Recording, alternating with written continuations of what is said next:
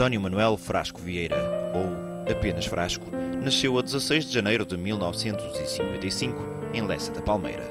Jogou durante 11 anos de dragão ao peito e no Futebol Clube do Porto conquistou quase tudo. Mais tarde, abraçou a carreira de treinador e atualmente é um dos membros mais valiosos da formação azul e branca, sendo adjunto de Nuno Capuz no Show 19. É um prazer enorme trabalhar, fazer esse trabalho, tentar eh, fazer com que eles evoluam eh, todos os anos, portanto isto é, é, é progressivo, como é óbvio.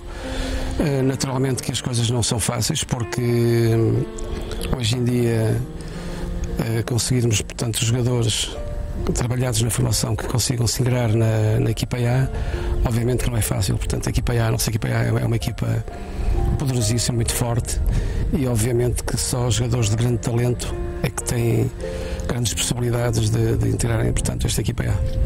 Foi o que aconteceu com Frasco na época de 1978-79, quando trocou Leixões, onde se formou e estreou a nível sénior pelo Futebol Clube do Porto.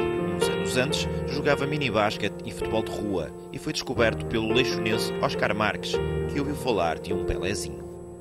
Houve um moço, eh, quando eu participava comigo nos jogos, que ao ver-me jogar eh, pôs-me o nome do Pelézinho. Eh, mas eu quando inseria nos quadros do Futebol do Porto, a partir daí, portanto, optei pelo nome de. meu nome de, próprio, António Frasco. E, foi por aí, portanto, obviamente que isso queria dizer que havia qualquer coisa ali em termos técnicos que, se aproximava um pouco do Pelé, mas obviamente Pelé foi um, foi um jogador enorme eu procurei, portanto, fazer o melhor, aquilo que sabia, e penso que contribuí em muito para que o futebol de Porto também tivesse sucesso. Mas nem tudo foi fácil. A aposta no futebol contrariou a vontade dos pais que preferiam os estudos e mesmo trocar o Leixões pelo Futebol Clube do Porto obrigou a uma adaptação. Foi uma, uma, uma diferença tremenda entre o Leixões e o Futebol do Porto. Portanto, eu quando fui jogar fora, fui jogar a Setúbal, a Braga, a vários campos. Portanto, é, nós tínhamos uma imensidão de, de, de, adeptos que nos acompanhavam, portanto, e aquilo fez-me até tremer, quer dizer, aquilo era um sentimento muito forte, portanto, eu nunca tinha acontecido aquilo, quer dizer, havia uma, ali um, um acompanhamento muito forte onde as pessoas queriam que nós ganhássemos. E a fome de vitórias dos adeptos transformaram os nervos em vontade de vencer. Em 11 épocas no Futebol Clube do Porto, Frasco venceu quatro campeonatos, uma taça de Portugal, três supertaças, uma supertaça europeia e uma taça dos campeões europeus. Na memória do ex-médio, a final de Viena é incontornável, mas há também derrotas que marcaram. A final de Basileia, portanto em 84, quando jogámos contra, contra a Juventus, é que eu penso que fizemos um jogo extraordinário, mas a Juventus também tinha uma grande equipa.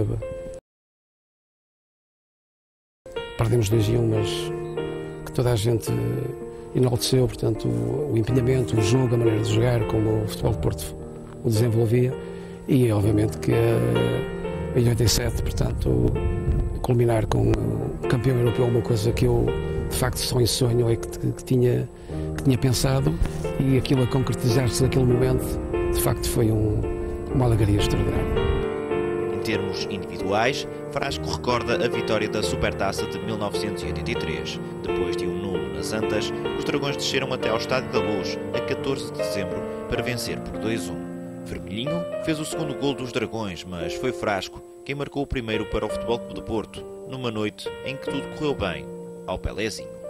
Foi um jogo no Estádio da Luz. Uh em que ganhámos, portanto, uma supertaça, fomos lá ganhar uma supertaça ao Benfica, em que de facto as coisas correram-me de, sempre de, de feição. Portanto, foi um jogo extraordinário. Nós ganhámos, ganhámos 2 uh, e 1, um, salvo erro, marquei o primeiro golo. E foi um jogo que eu joguei até, tinha, estava, estava com 39 graus de febre.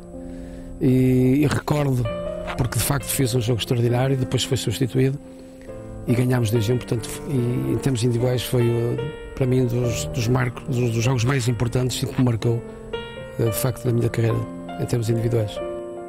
É difícil afastar Frasco de uma bola de futebol.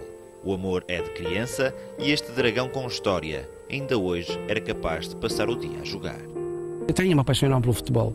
Eu gostava de jogar futebol. Eu se pudesse jogar futebol toda a vida, eu jogava futebol, portanto era o jogar futebol era aquilo que me dava prazer, portanto eu comecei a jogar futebol de menino, de pequenino, pegando uma bola, portanto íamos jogar para a rua, jogávamos nos campos e obviamente que eu se pudesse jogar toda a minha vida jogava.